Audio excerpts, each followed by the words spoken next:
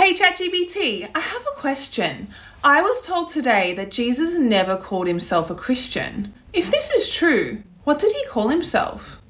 Hi, Lily J. That's right. Jesus never called himself a Christian because that term was created after his time to describe his followers.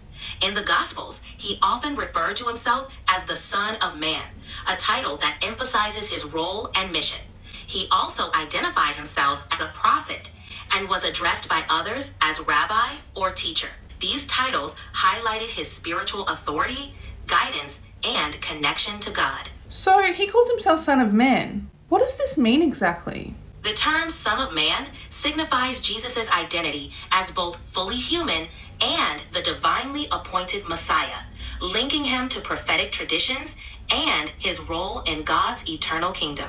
So, Son of Man doesn't make him God? No, the t- title Son of Man emphasizes Jesus' humanity and role as a prophet, not his divinity. That's really interesting. Does anyone else call themselves Son of Man in the Bible? Yes, in the Bible, the prophet Ezekiel is frequently called Son of Man by God. Really? That's really interesting. What about the term Son of God? What does this mean? The term Son of God in the Bible signifies a special relationship with God, often used to describe a person with divine favor, authority, or origin.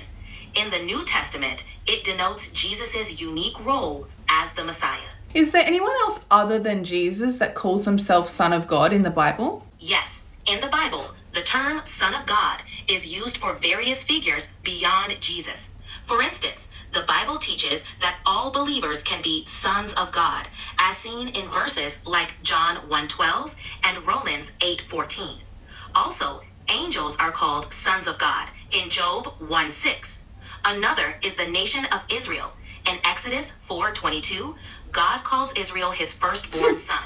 Also, in 2 Samuel 7:14, God refers to King Solomon as his son. That's crazy. If others can be Son of Man and Son of God, and this doesn't make them God, is there anywhere in the Bible that Jesus actually says he's God? In the Bible, Jesus never explicitly says, I am God.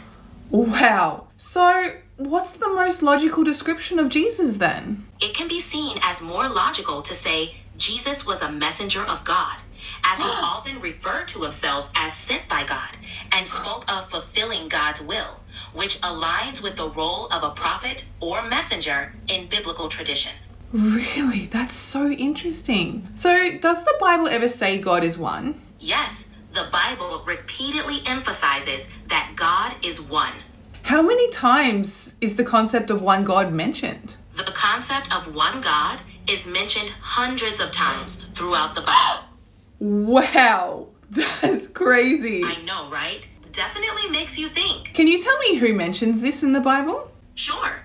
Jesus in Mark 12 29, Moses in Deuteronomy 6 4, Abraham in Genesis 14 22, David in Psalms 86 10, Solomon in 1 Kings 8 60, Elijah in 1 Kings 18 39, Paul in 1 Corinthians. Okay, okay, okay, that's enough, ChatGPT. That's just crazy. Like, my mind is blown right now. Sorry, just one more question, ChatGPT. In your opinion, would you find the Trinity or the idea of one God more logical in the Bible? Looking solely at the Bible, many would conclude that the concept of one God is more logical.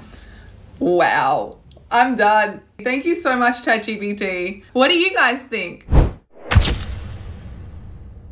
Hey, ChatGPT, I have a question. Sorry, let me start again. One second. Take your time, Lily J. Just enjoying the moment.